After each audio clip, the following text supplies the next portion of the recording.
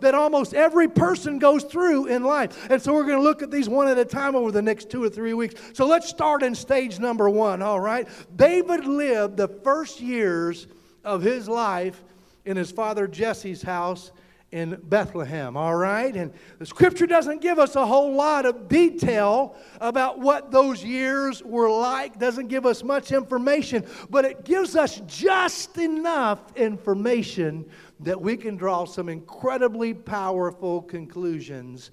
And the conclusion that I draw was that David was faithful in natural things during that period of time. You see, Saul had been anointed king. By outward appearance, Saul was everything a king ought to be. He was a head taller than everybody else. He was handsome, and it looked like he had great leadership potential. But Saul displeased the Lord by being disobedient to God, and God rejected him as king. And so in 1 Samuel 16, something interesting happened. God Samuel the prophet to go and anoint a new king over Israel. And God doesn't tell Samuel who the name of the new king, just that it will be one of the sons of Jesse in Bethlehem. And so Saul grabs his horn of oil and he goes to Jesse's house to anoint the new king. And he comes to Bethlehem and, and, and they, uh, they're offering sacrifices to the, to the Lord there. And as they were arriving, Samuel sees Jesse's uh, oldest son, David's eldest brother. Uh, his name was Eliab, and he thinks, wow, this surely must be the Lord's anointed one because he was so handsome and tall in height and very masculine in, in appearance. But the Lord said something powerful to Samuel that day. He said, Do not consider his appearance or his height because the Lord doesn't look on the things that men look at. Just tell your neighbor, God isn't looking at the things that men look at. Amen? You say, well, what does the Lord look at? Man looks at the outward appearance, but the Lord looks at the heart. And so they begin to line up Jesse's son, and Eliab comes in front, and he's not the one. And, and, then, and then Abinadab comes, and he's not the one. And Shammah comes, and he's not the one until all seven have passed before before the front of the prophet, and Samuel says, The Lord hasn't chosen any of these. You know, are these all of your sons? And Jesse says, You know, there's still one, and his name is David. He's out tending the sheep. So they send for him to come in, and he comes in before the Lord. And the scripture says that he's ruddy. I'm not really sure what that means. Maybe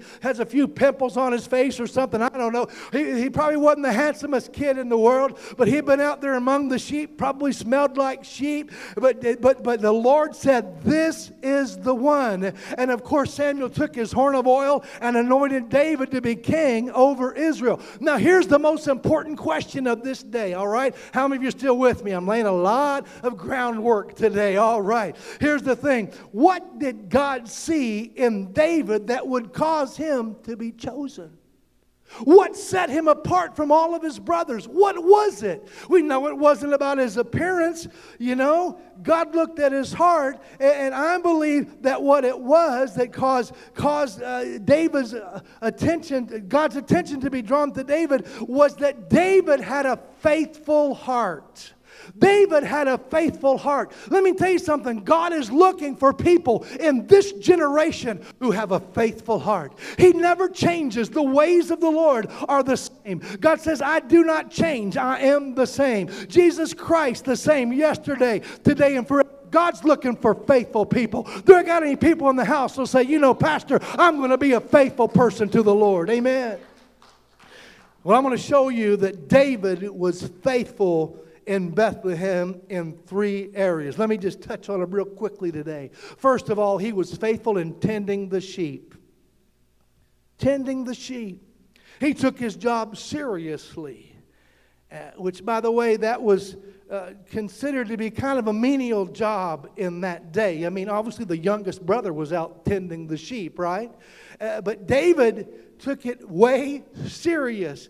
In fact, David's testimony later on was this in 1 Samuel 17. This is what he said. He said, When a lion or a bear came and carried off a sheep from the flock, I went after it, struck it, and rescued the sheep from his mouth. Now, how many of you know shepherding sheep was probably not the most dangerous job in the world? It was obviously it was a menial task given to the youngest son. David was even teased about it. Did you know that? King David was teased about being a shepherd boy, right? When he went to bring his brothers food, you know, and Goliath is challenging them, and, and uh, David winds up bringing food to his older brothers. Uh, one of his, his older brother told him this. He said, With whom did you leave those sheep in the desert? And so David was teased about the, min, the menial job that he had as the widow shepherd boy with the widow sheep. You can see the brother doing that, right? But you see, David didn't look at his heart, at his job like that. He, David instead said, While I'm out here watching these sheep, I'm going to do something really productive. And he had what a lot of boys in those days had he had a sling, right?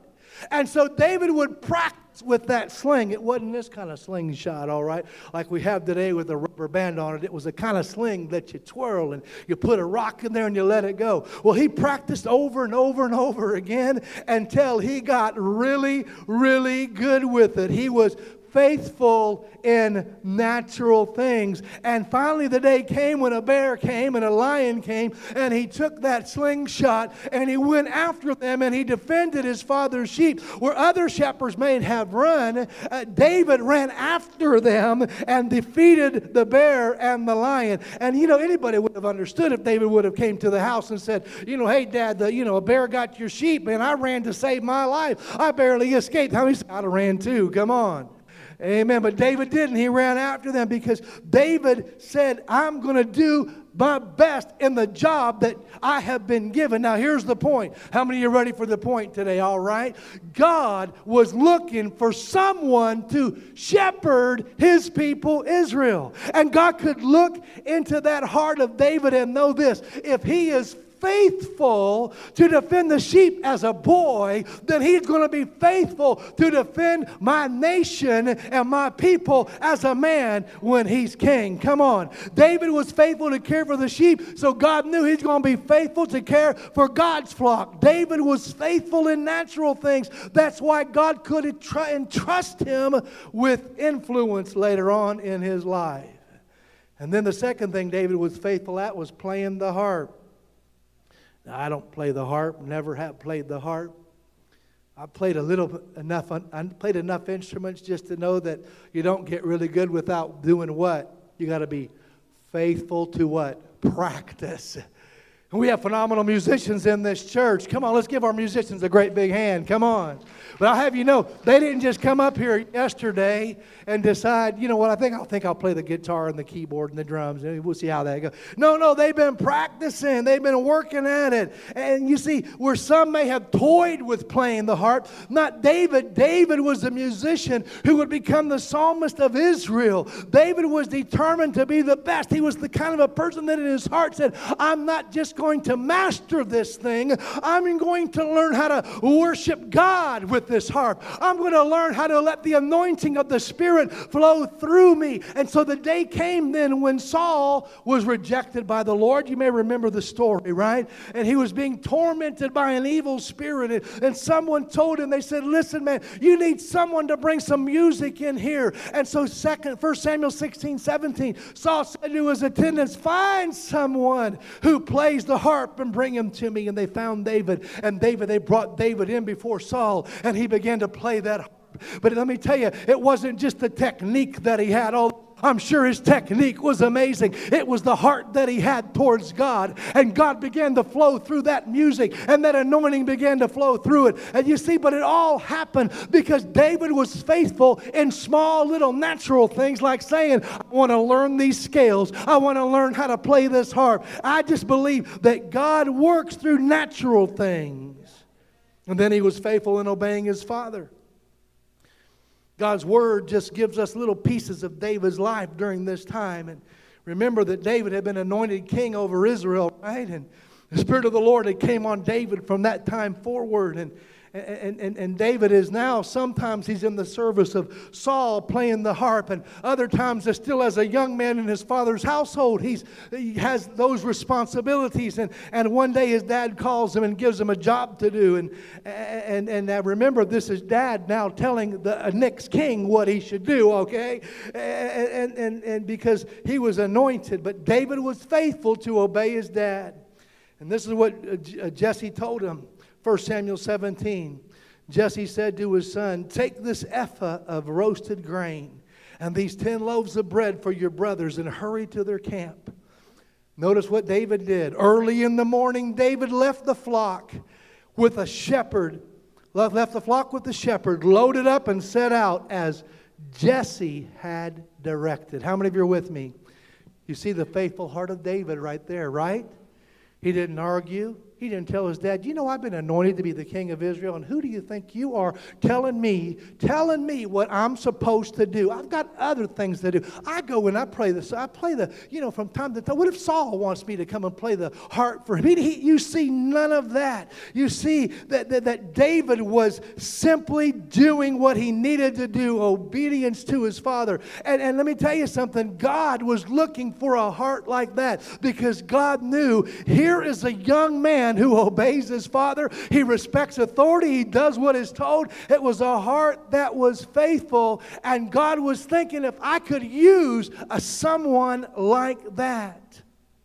And I'll tell you the interesting part of this whole story was that because of his faithfulness in obeying his father, going to bring this food to his brothers who were at the battle. That's when he heard Goliath. That's when he saw Goliath. That's when he learned about Goliath threatening the people of God and cursing God. And that's when he went out there and defeated Goliath. And it wasn't long because of his obedience, because of his faithfulness. How many of you are with me? That they were chanting in the street Saul has killed his thousands, but David has killed his tens of thousands. I'm just here today to tell you that God is looking for people in this day day and hour to be faithful in the natural things of life.